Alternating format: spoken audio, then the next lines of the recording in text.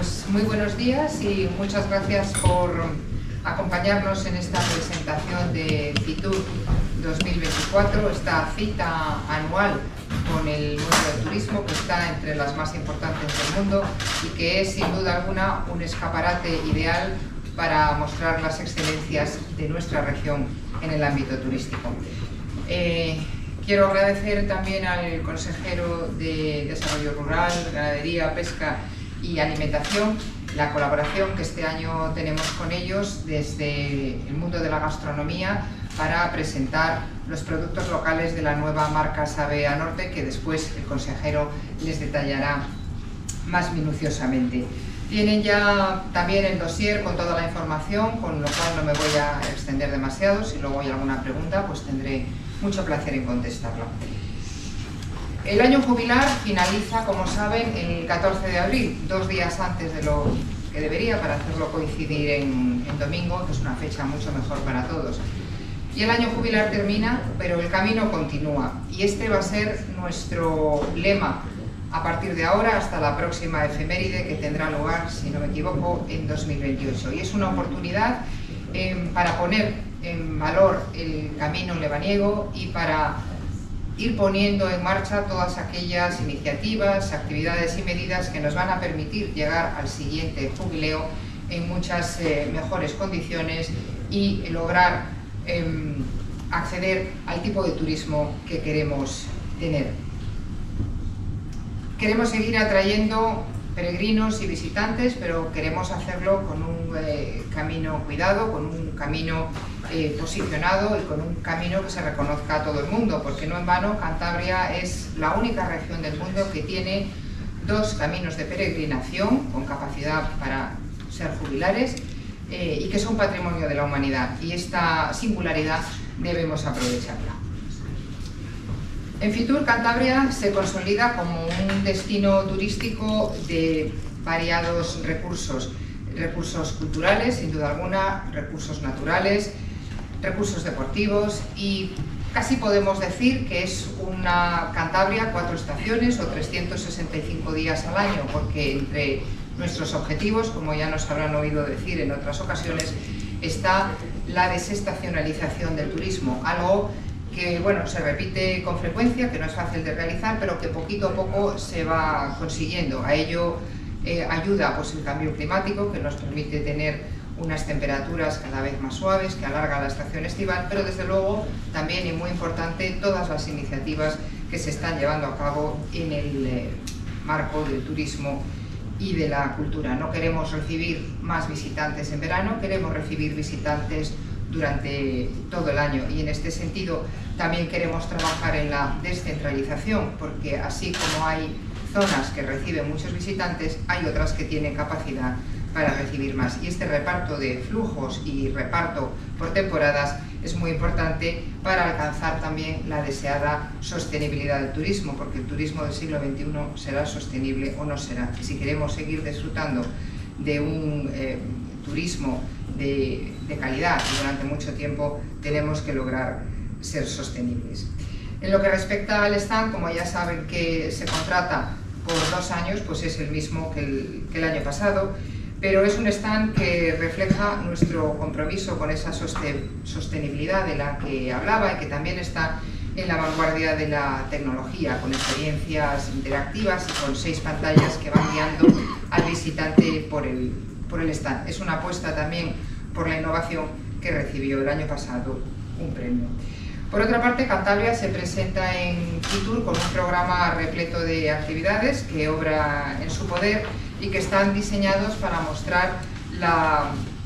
rica y diversa oferta turística de nuestra región. Se anunciarán eventos como el concurso internacional de salto de eras Cantabria Infinita o el Mundial de Raquetas de Nieve 2024. Em, como ya saben, la idea a la hora de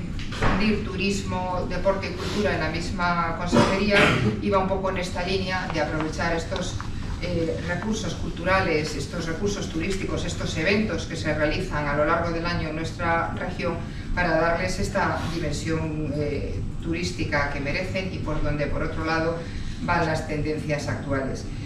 También en FITUR se van a resaltar las bondades naturales de nuestra región y habrá una presentación del Geoparque Costa Quebrada al que estamos apoyando para que la UNESCO lo incluya en su lista mundial de geoparques. Y con eventos como Santander y Cantabria Destino Mais y también el estudio de impacto y hoja de ruta del Santander Cruz, subrayamos esta apuesta por desestacionalizar el turismo y por diversificar la oferta. También habrá un número significativo de municipios y comarcas que estarán presentes promocionando sus, ofertas turísticas y, sus productos y creemos que es em, bueno, pues un programa bastante completo y atractivo que nos permitirá seguir avanzando en posicionar a nuestra región en el panorama no solo nacional, sino también internacional. Y ya sin más dilación, pues le voy a ceder la palabra a Pablo Palencia, consejero de Desarrollo Rural, para que nos desvele un poco los detalles de su colaboración con FITUR este año. Muchísimas gracias. Muchas gracias, consejera. Buenos días a todos. Bueno, lo primero agradecer a la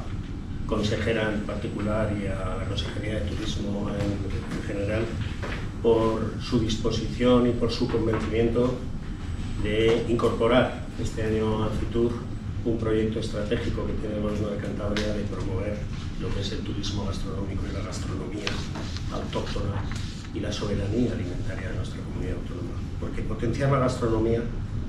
realmente es dar visibilidad a miles de familias que trabajan en el campo y es impulsar la economía del sector primario. La gastronomía es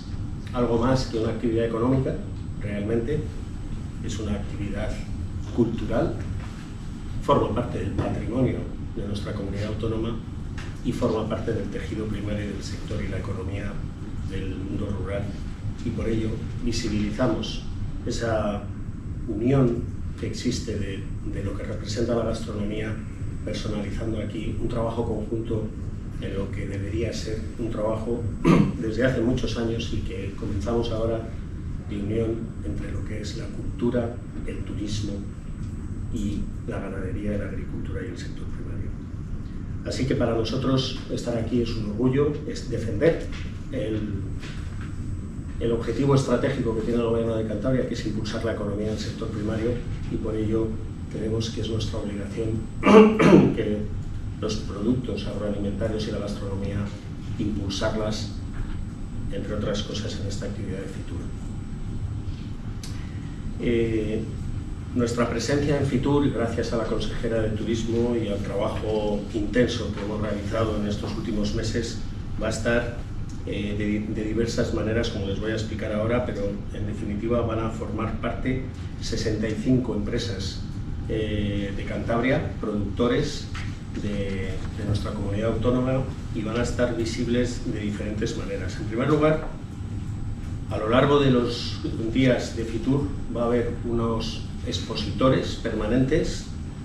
eh, agrupados en cuatro grupos de, productos y que en definitiva van a ser 65 empresas repartidas en 19 mm, empresas, productores eh, relacionadas con el mundo lácteo y el mundo del queso, 22 eh, empresas relacionadas con, con el mundo del vino y de las bebidas que se produce en nuestra comunidad autónoma, 12 productores del mundo de la mar, de conservas y de productos, eh,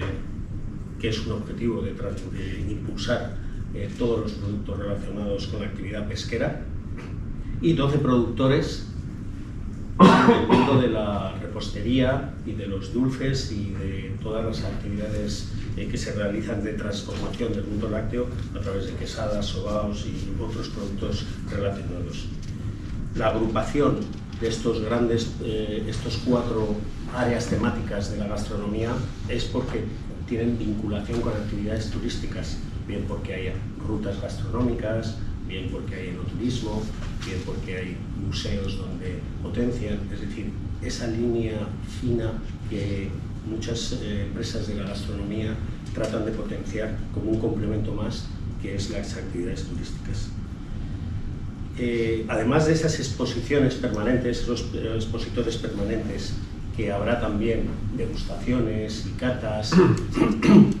Durante estos cuatro días va a haber una serie de mesas redondas donde eh, se va a moderar por parte de un periodista especializado en el sector agroalimentario de Cantabria, que en este momento trabaja en la televisión, que es un hombre muy experimentado, es Kiko Taronji, es un hombre con mucha experiencia, en este momento trabaja en el programa Aquí la Tierra, un hombre muy conocedor del sector primario de Cantabria y tiene mucha experiencia en moderar eh, eventos gastronómicos y será la persona encargada de moderar un número determinado de mesas eh, a lo largo de los eh, cuatro días, que va a formar parte de cinco días, perdón, y donde eh, moderará pues, una serie de entrevistas con productores, empresas y de diferentes sectores. Así, durante estos días de Fitur habrá unas horas determinadas de esas mesas que se van a moderar y que les voy a trasladar ahora mismo. El miércoles 24 de enero será de, desde las 2 a las 3 y media. El jueves 25 de enero será a las 2 hasta las 3 y media. El viernes 26 de enero será a las 4 de la tarde hasta las 5 y media. Y el sábado 27 de enero y el domingo 28 de enero será desde la 1 hasta las 2 y media. Durante ese espacio, además de haber una, degustación, una cata por parte de los productores que van a formar parte de esos expositores,